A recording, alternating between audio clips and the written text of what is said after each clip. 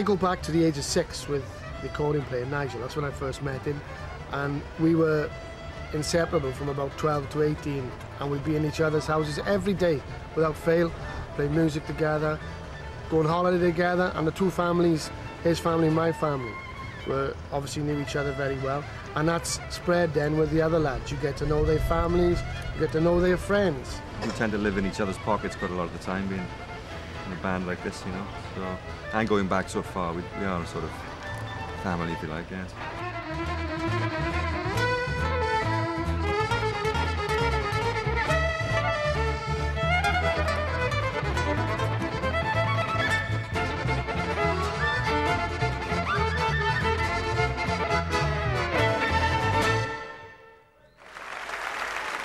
Music's always been in my family, uh, on my father's side and my mother's side.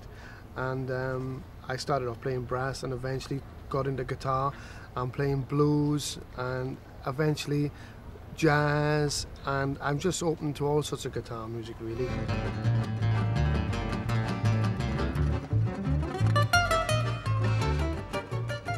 We were both in Penland School together and shared an interest in music, um, mainly rock music at the time.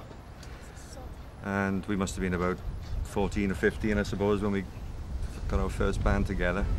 In fact, Nigel Hopkins, who's uh, was our current accordion player, was was with us at that time as well.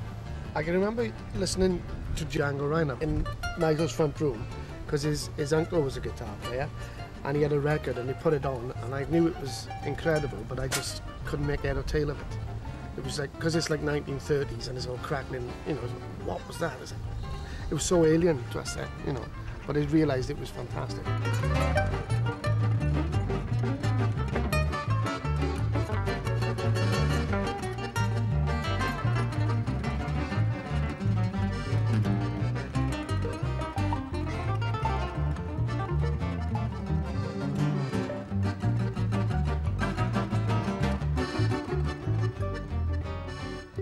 We sort of went separate ways for about 20 years and I bumped into him and we decided that we'd get um, uh, a duo together at the time and we met in a pub to discuss uh, to, to come down to meet where I was living and, and rehearse. And then after a pint we decided well we might be better off just going out straight off and getting gigs because we'd played together in the past. And we went around a load of pubs and the last one we went to the guy said oh I know you and I know you uh, yeah, I'll book you. In fact, I need somebody for tomorrow. Come back tomorrow and play. I want three 45-minute sets.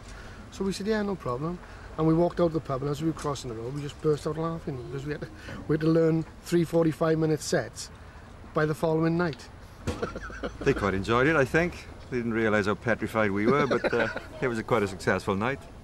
And then we, the fact that we got through 345s sort of off the cuff after not having seen each other for 20 years or so was a you know pretty good um, signal that we might get something together more permanent.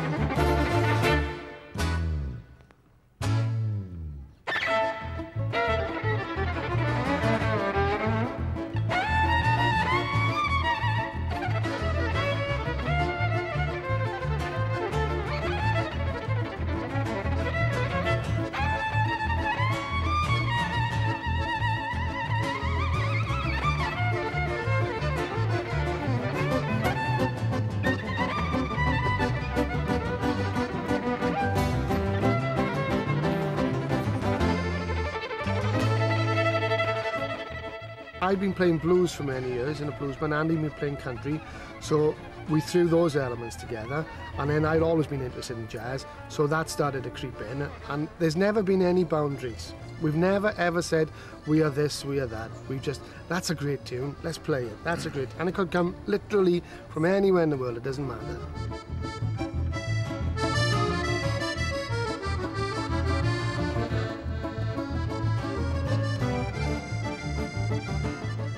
Never said no to a gig, no matter what it, it might be. If somebody wants a particular theme night, like um, an Australian night, for instance, or an Italian night, if the phone rings and somebody asks for something like that, we say, yeah, we can do that. A typical gig for us now would be a, a cross-section of all those different styles of music, you know. But um, the pub scene is, still very strong for us, although we do the occasional nice gigs like the Brecon Jazz gig and you know, we get the occasional gig abroad and that sort of thing. Our main work is, is in the local pub scene. Little darling, what you doing now? I thought without me you probably would drown. I was wrong, and for now it's so long. Goodbye, my darling, I hope to see you around.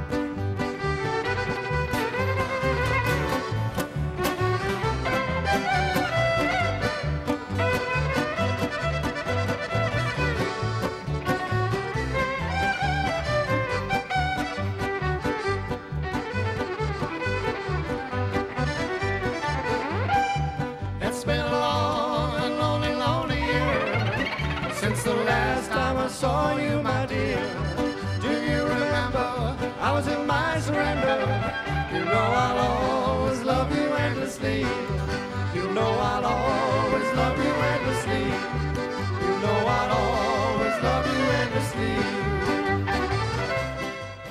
Current lineup is um, Wal, who plays the bass, Andrew Coughlan, his nickname is Wal.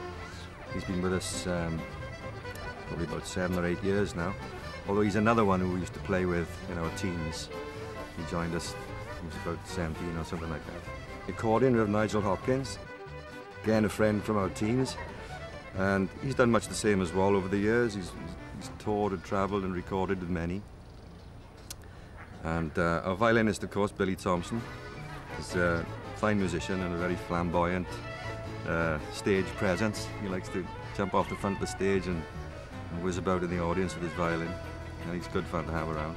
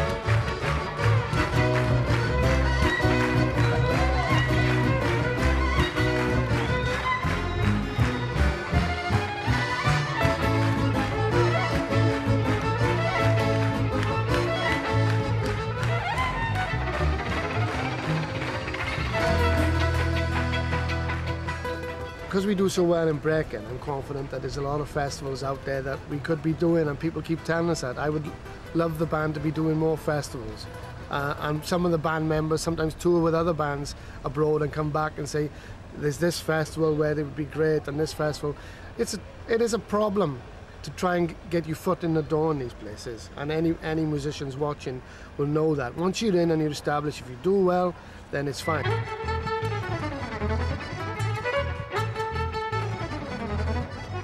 Every year that, uh, that comes along, the band seems to develop and, uh, and move forward and sort of uh, reach new ground, you know. A lot of our music is still out of the jazz scene as well. We still do a lot of folk music, country music and so on, which will probably be reflected on our next album, which will be out in time for, for Brecon next year.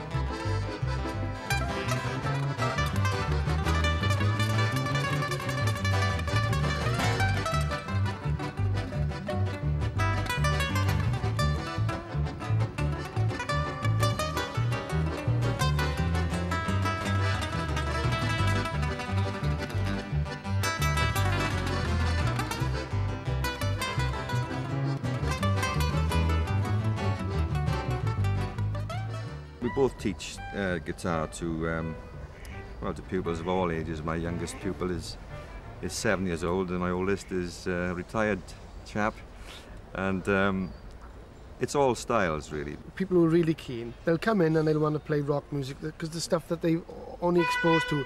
Then they look my, around my room, which is like packed of all to the rafters with all sorts of different music, and eventually, if they're good ones, they'll say, "What's that like there? That file you got there, flamenco, or what's that jazz file like, or what's that Latin? What's that about?"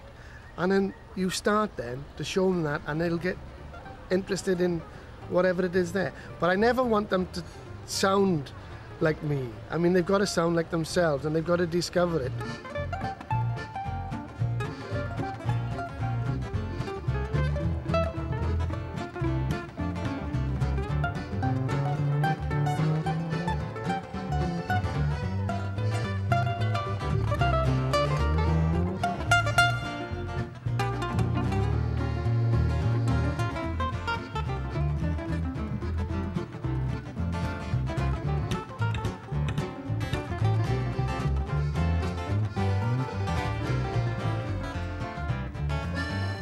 And the music is constantly changing because, as I say, we don't have any boundaries. So we're playing a lot of Latin music, all sorts of gypsy music, whether it be from Western Europe, you know, France, the Spanish stuff, which is totally different, Eastern European, that's totally different, Celtic, anything, anything we fancy. The young people, the, the teenagers of today, our pupils, for example, who we teach, are, are getting very interested in the in the jazz thing, and uh, hopefully we'll pass it on to them, and they'll they'll keep it going too.